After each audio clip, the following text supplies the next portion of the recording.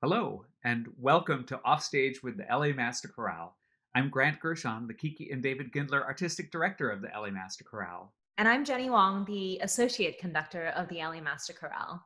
And today, our guest is one of the amazing members of the LA Master Chorale, Anna Schubert, who was uh, the lead last year in the premiere of Ellen Reid's Pulitzer Prize winning opera Prism, and that's very alliterative. Yeah. Uh, and uh, she's also appeared as soloist with uh, with opera companies and orchestras, and of course with the LA Master Chorale.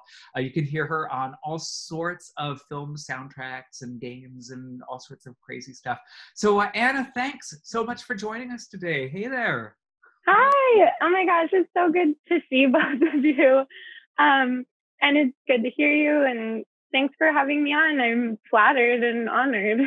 Of course. Well, Anna, first off, um, can you tell us where you are currently and what have you been spending this time doing? So right now I'm in my tiny apartment in Highland Park. Um, I live in like a one bedroom, 500 square foot apartment. Um, so that's been a little constrictive. Definitely gone on lots of walks while all of this has been going on yeah, and I've I've just been spending the time in quarantine um, trying to stay productive. Um, like, not that there are any particular projects I'm working on right now, but it kind of feels like being back in school a little bit, um, where you get to, you know, you're like, what do I want to sing? Like, what do I want to record? What do I want to do with my time? You know, like, what homework am I going to give myself? And I was like, well, I need something to do. So I'm going to get a little beginner's mic and like start teaching myself how to use software and, you know, experimenting with like where in my apartment is the quietest and how to make it that way. My grandpa, when I was growing up, would always like, um, he was an engineer. So he had all these like PVC pipes laying around his house. And I spent a lot of time with them when I was a kid. And so to entertain me, he would always let me play with them and like build things. Um, so one of Ellen Reid actually told me like, hey, if you want to get a quieter, because I live in a really noisy area, um, if you want to get a better um, like quiet space, just put your comforter over your head.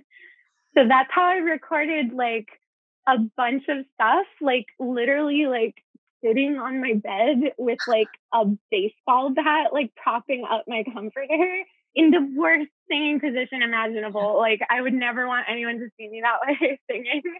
Um, but I, after a while, I was like, my back hurts. So I got, I went to Home Depot and got all these like PVC pipes and made like a little frame so that I can just throw my comforter over that and sit in a chair with better posture. and so I'm I'm working my way up the uh, resourcefulness scale for sure. That's amazing. amazing. Quarantine ingenuity at work.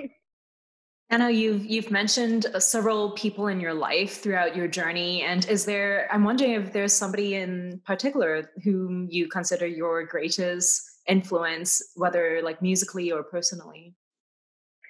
Yeah, um, I mean, I'd say that's probably a tie between my dad and um and Tim McDougall, just because like my my dad was um or is um, my dad is um a pianist and organist. I mean, he just retired from his organist job this year after like 30 something years maybe even longer, I don't know. So, yeah, I think like I just grew up with an like an appreciation for that um and because I knew piano wasn't my instrument, like I I know I'm like super privileged to have a pianist as a father because there like he played for me uh, at almost every competition I did. Uh, you know, because we would it would be like a weekend and it's like, okay, we're gonna audition for the Spotlight Awards that weekend. Oh, well, your dad can play for you. So like I'm really lucky. Like so many people have to find a pianist for every time they want to sing, you know, and um so I, I had that and that was great. And then, um, yeah, Tim McDougall was just one of those teachers that like kind of went above and beyond for all his students. And like he made my spotlight dress that I got just or did the final performance in. And when I was, um, a senior in high school and that's incredible um, he made your dress yeah he made it like i we were gonna start looking for them because you know i'm 18 i've never had a gown before um and he was like i'm gonna make it. And i was like are you sure? So like he like took our measurements. Like there was another girl at my school who was a finalist that year too in musical theater. Um and she he he made both our dresses.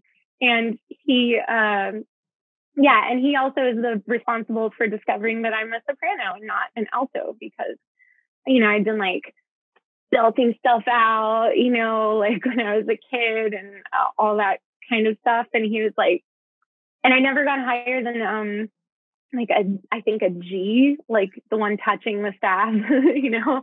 Um and he was like, I think you have some high notes in there. And I was like, You're crazy, you know, like just one of those kids that's like, all the adults around me are wrong, you know, but like he was totally right. And like, you know, we found out I was a coloratura and he started giving me rep for that. And I realized I actually really liked it. Um, like I thought it was really satisfying to take apart all these like coloratura melismas or um or like put ornaments onto things, you know, like I felt that kind of rep allowed me to be creative as a singer. Um, and so I just started learning all of that in high school. And then I pretty much was like, oh, this is like something that I want to do. Like I'm doing all these competitions right now. Julia Metzler and I competed against each other in high school and she won because she's amazing. Um, but like, you know, I was just like, oh, I'm like making money from this. Maybe I can keep doing that.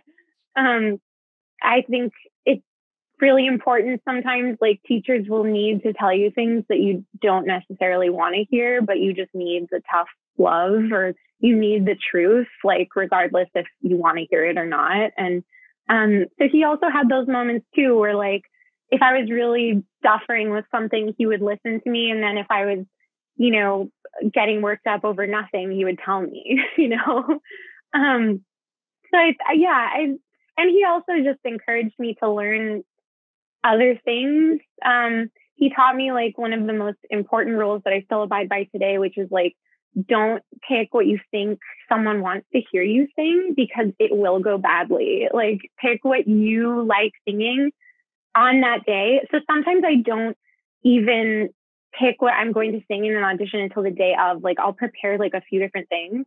And I've even like, I think my first Master Chorale audition, I bought like three different songs with me and finally was like, oh, I'm doing the WC, you know?